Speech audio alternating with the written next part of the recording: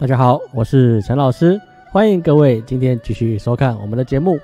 今天要跟各位讲讲这几年在网络上爆红的火星男孩波利卡斯的话题。开始之前，请各位按下我们的订阅以及小铃铛，哦，还有我们的赞，这样老师以后更新视频的时候，你才能获得通知，也帮助老师快速达成十万订阅者的目标。感谢您了。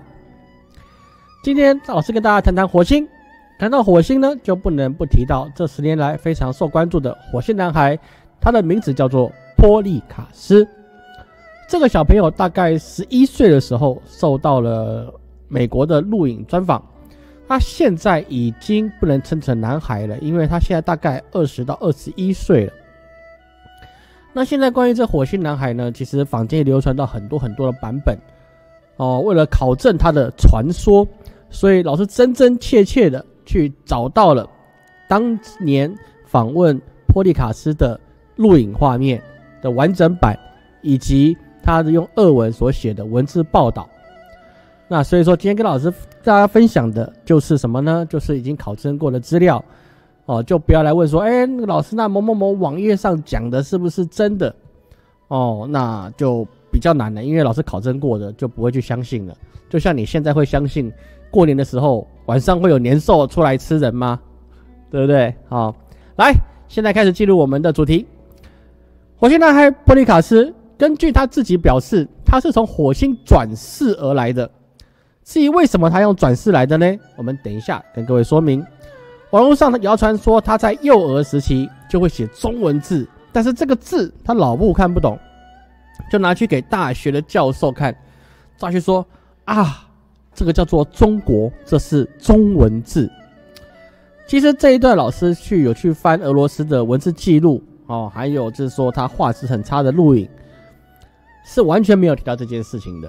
也就是说，这个是一些网站的编辑设下的一种类似标题党的耸动的文字，实际上没有这回事哦。这个火星男孩从来没有说中国这件事情，所以同样的事件，有网站表示火星男孩指出。中国将出一圣人，然后征服了这个世界，并且领导这个世界。这一段也经过老师的考证，又是一个网站的编辑，非常有想象力的创作。这部分也是虚构的，包含什么？有人说他最近可能去年又受到一个独家专访，然后这个也都是自己虚构的，并没有这回事的发生。那火星男孩波利卡斯到底讲过什么？依照老师通盘的考证之后。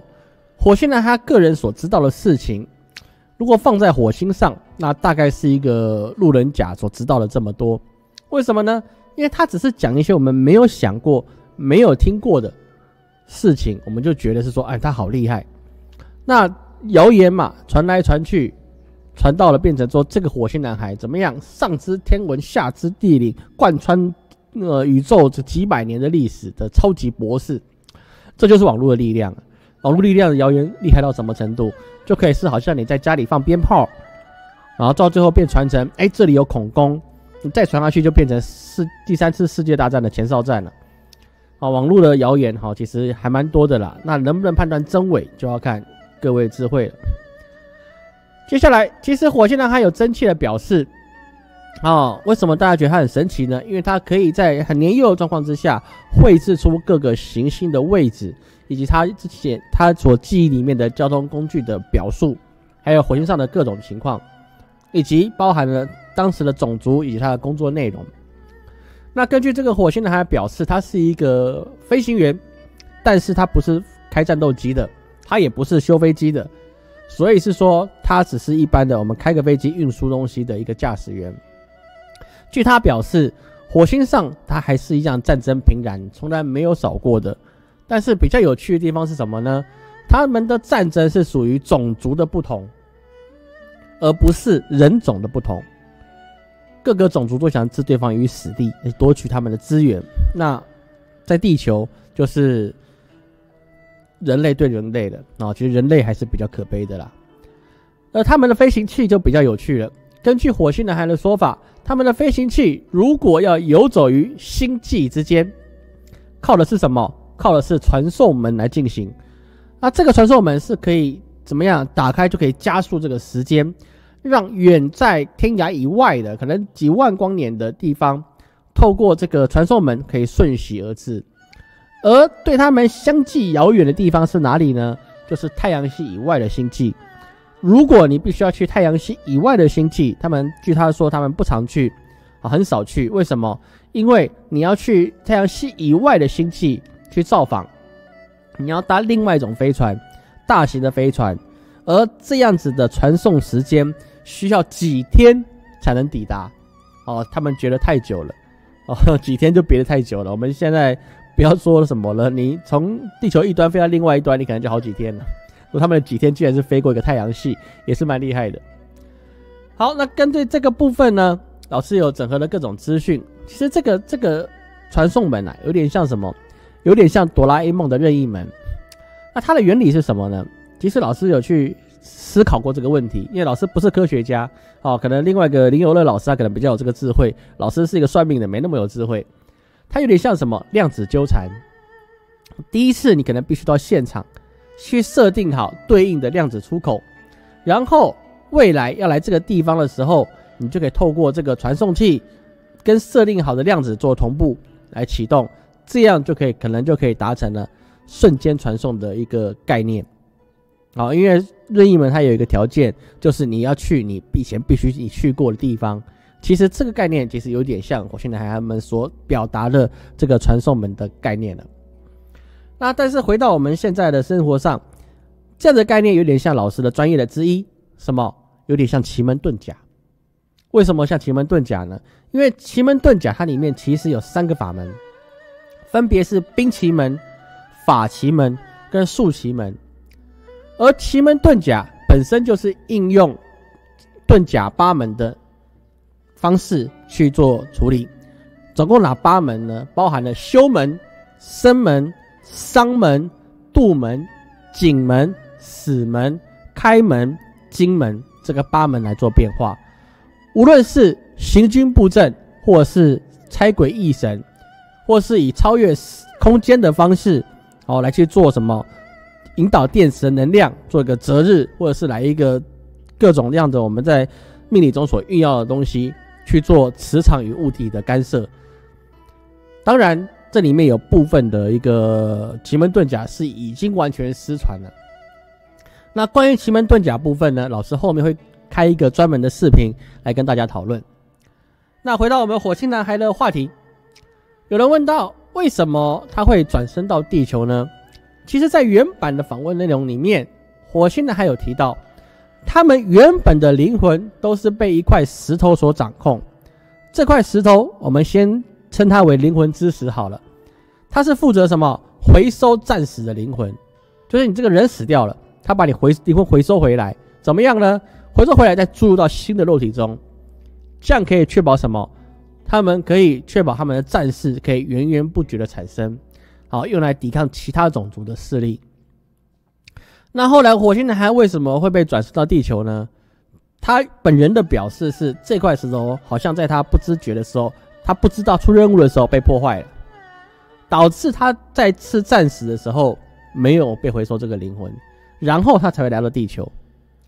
所以网络上流传的火星男孩是为了解救地球啦，还是什么某某星人呐，什么卯昂星人还是什么的，要来怎么带领新一代地球人哦，新人类哦，这个好像是阿姆罗系列的哦，要来提升维度的说法就不攻自破了。而是收集灵魂的老师比较觉得奇怪的是，它居然是一颗石头。这个部分，各位，你有没有联想到什么？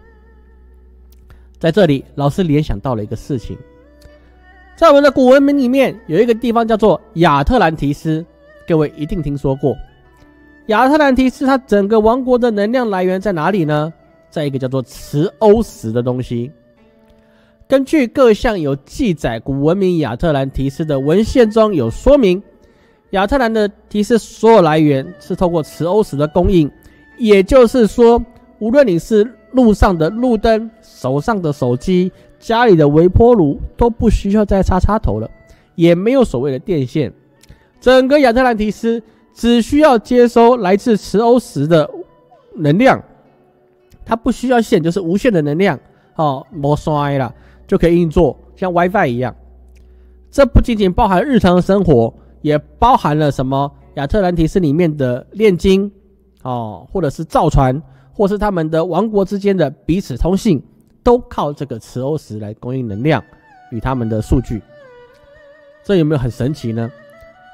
如果地球上的古文明跟外星人是有关系，那或许有没有可能这个磁欧石就是火星上的灵魂之石的简易版本？那关于亚特兰提斯的部分，老师也做好了资料准备，后面老师会制作一个专门关于亚特兰提斯的视频，来跟大家一起讨论老师的发现。回到火星上面，由于灵魂之石的被破坏。导致该名种族，就是那个种族的灵魂散离了，他可能暂时没办法回收了，让原本的灵魂去轮回到了宇宙的各个角落、各个不同的星球上去，而不会再被限制在火星上了。这也说明了什么？所谓的因果轮回，它其实不仅仅只是存在于宗教观念里面，而是更高维度的管理权。就像老师上一篇。说明的什么呢？预知未来的占卜术那一篇，老师有说到，我们中国三清之中的道德天尊，也就是我们的太上老君，都说明这个世界上的运行是比神佛更高维度的存在所管理的。而老师去想这些事情的时候，就在想，其实无论任何星球，也无论你任何种族，当你的科技到达了一定的境界，你都希望。透过你的科技来试图取得神的权利，都想从神的手上复制或是夺取管理生死的权柄。无论是我们的过去的秦皇汉武，或是火星人，都想战胜了生死，让自己永远的生存下去。而我们如老祖宗告诉我，如果一个生命的永恒。它是没有提升自我以及你的维度，那就是什么样？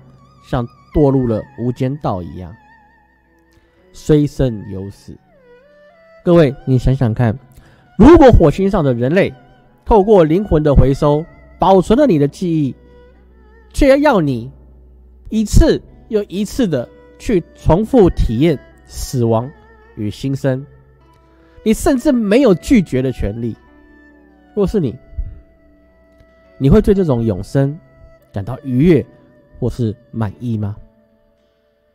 最后，老师分享《金刚经》的一段：一切有为法，如梦幻泡影，如露亦是电，应作如是观。好，感谢各位今天的收看，给各位记得按下订阅的小铃铛以及赞，并且在下方留下您对本集的看法。请大家分享你的思路，但请记得哦，一定要礼貌留言，文明讨论。下方也有老师的联系方式，如果你需要老师的专业咨询服务，可以在说明页面的最下方来取得。我是陈老师，我们下次见。